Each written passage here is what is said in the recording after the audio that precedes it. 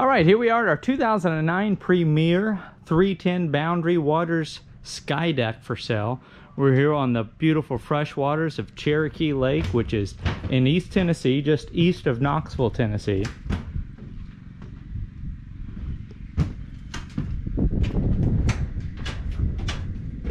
This is about a two owner boat. I believe it spent uh, its entire life here on Cherokee Lake since it was new. And there are a ton of features and options on this one. So I normally refer you to our website anyway to find the current asking price and the full list of specifications. But this one is probably even more important. If you want to know everything this boat has, I'm sure I'm bound to miss something here on the video tour. So our website's very easy to navigate. If you take the time open up a new tab or a new window, type in www.yournewboat.com, hit enter, let that load. You'll see some orange lettering. Look for the find your new boat button in the top left hand corner of the page. And once you click that, it's going to load all of our inventory and order price and you're not going to be overwhelmed. This is basically just boats uh, mostly in the East Tennessee area. So if you just scroll down a little bit, you're going to see a good photo of this boat out from under this covered slip. We're at a private residence today and we'll have some photos of this basically a 360 degree shot of this boat uh, just outside the slip so you'll be able to see it a lot better current asking price will be right there. You're going to recognize it right away because of the sky deck on this one. And again you'll be able to click into that listing and see all the features that it has. I'm going to do my best to point everything out to you today but i'm just saying this one's so loaded up i'm probably going to miss something.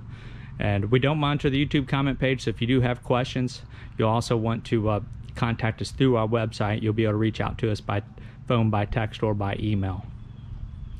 All right, so moving on, this is a Tri-Toon. Not only is this a Tri-Toon, this is a PTX model, and the PTX that Premier makes, these are essentially designed to handle like boats and not as pontoons. Typical pontoons going to need about a football field to, to turn around.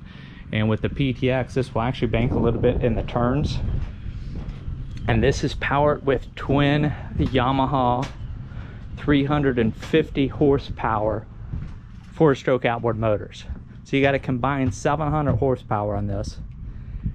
I believe we've got about 27 inch diameter outer pontoons and the center pontoon is about a 42 inch diameter.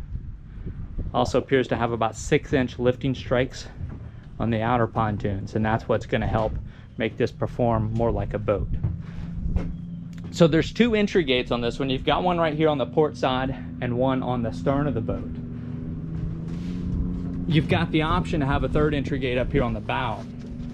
And Premier essentially has a seat filler where instead of that entry gate, um, right there, what's in the center of your screen now is basically a seat that's been put in, in that place.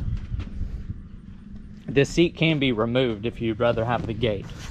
And then on the other side of that, what you were looking at a minute ago, that's a powered winch. It's basically an electric winch or a, you know, you'll often hear that referred to as a windlass anchor. I've got the interior courtesy lights turned on. We've got basically a, an ottoman right here in the center, and that's sitting over top of a low end floor storage locker. And that locker is missing its handle. I just want to point that out. But here's that storage locker. And that goes back a pretty good ways. So that could be used for ski storage. And then here's basically just some extra storage um, anchor in mind. That's up your We'll slide this ottoman back in place.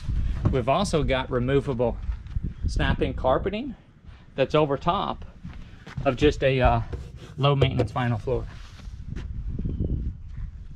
We've got some of these movable cup holders.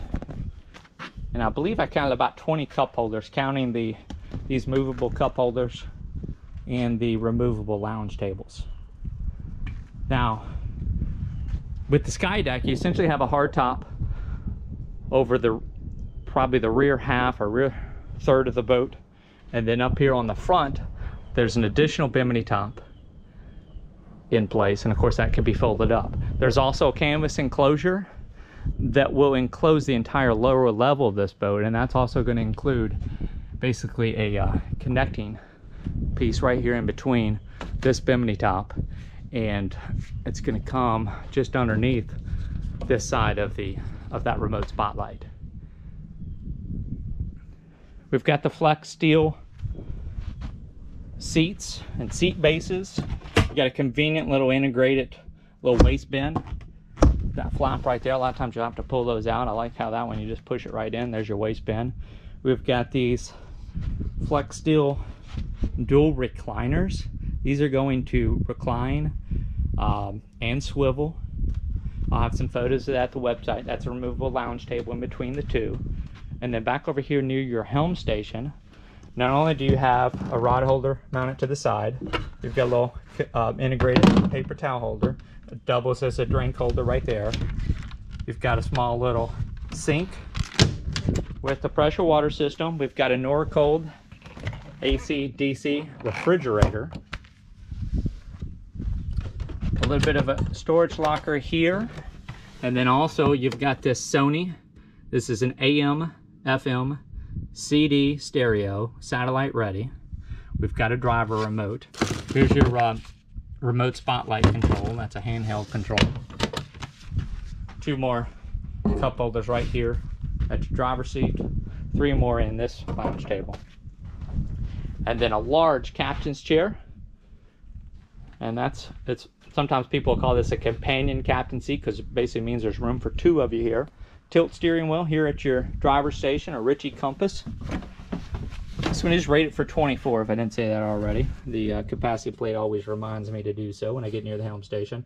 Another stainless cup holder right here. You've got uh, your anchor control, fire extinguisher mounted right there at the driver's feet. And this is a Lowrance LMS 50 or 520. This is a sonar and chart plotter. So you've got a GPS map. I've got the dual screens up right here. You can basically have either one of these screens um, or the combination of both. This is a fish finder and depth finder showing we're in 12 and a half feet of water, water temp 74.8 degrees. And then here's your GPS chart plotter on this side. You can zoom out and that's also going to tell you your GPS speed as well.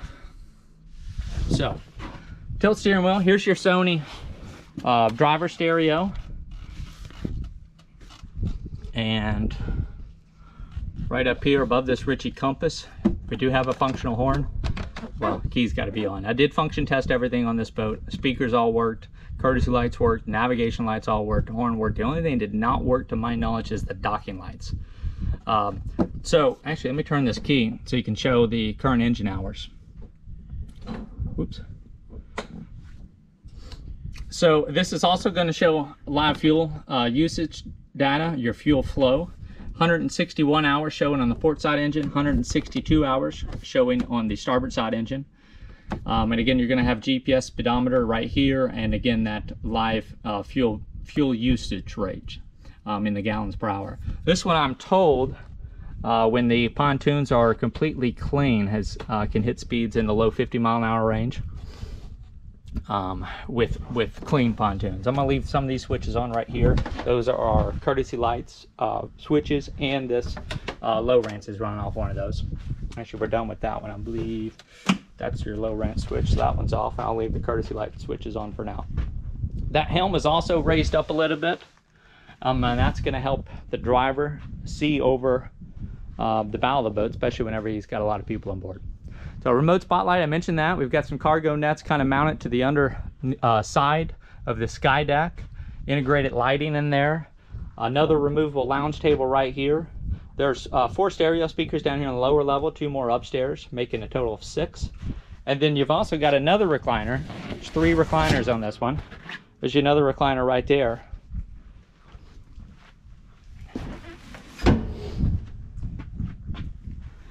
And the options don't stop there. We've also got a built-in microwave,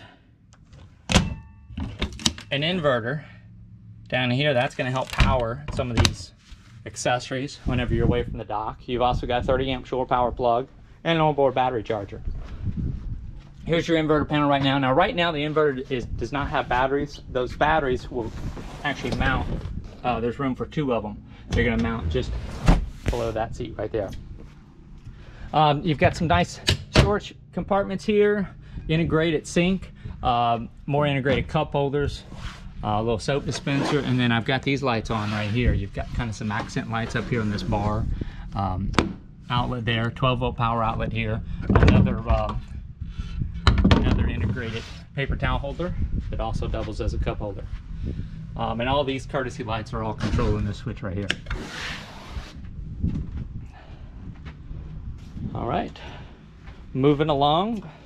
This is our pop-up changing room. Normally, you're gonna see probably a porta potty in here.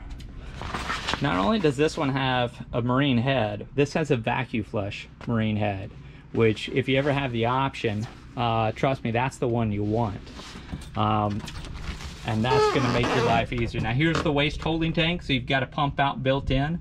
Um, and then I believe that, that uh, small waste tank can also uh, be removed by hand and you can dump it um, that way as well. So you can pull it into a pump out or you've got the option to kind of disconnect that and move it. So vacuum flush head in a Tritoon. This one, I believe, for a 2009 model was probably well ahead of its time.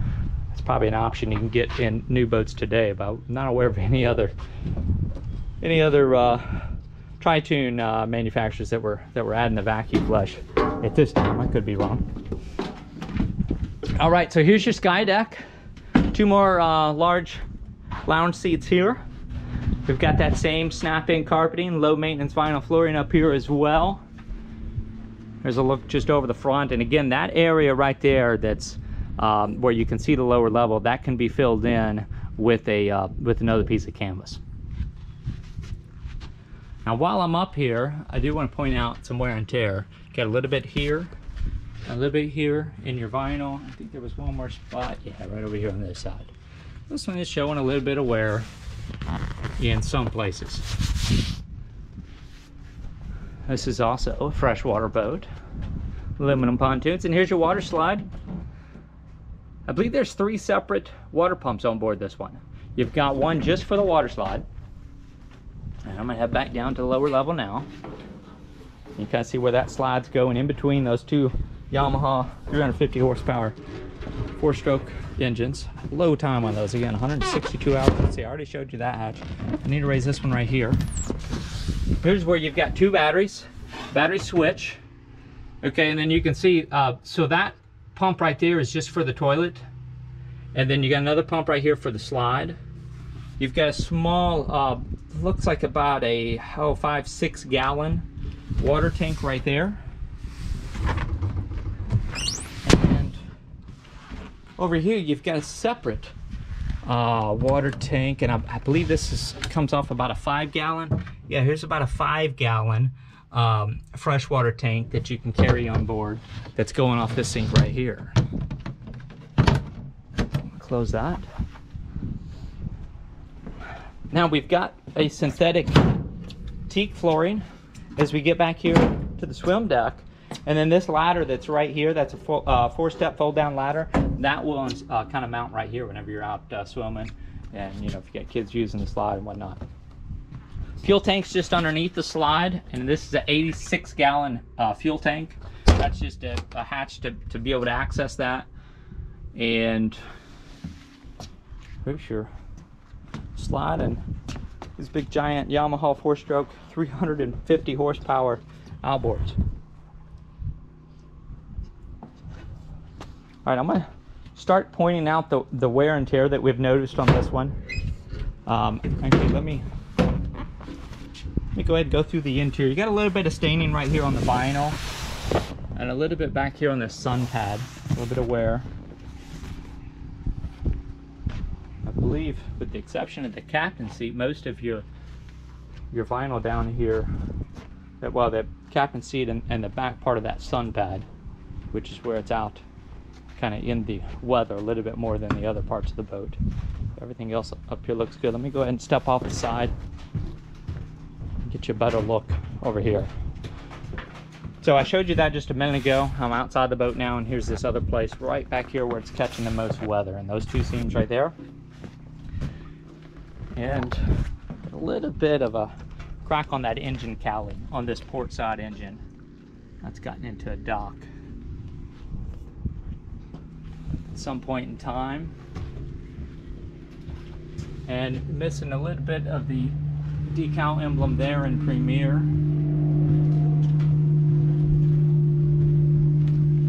And a little bit of vinyl stickers and some more of this decaling up here. This also has the aluminum underskin splash guard.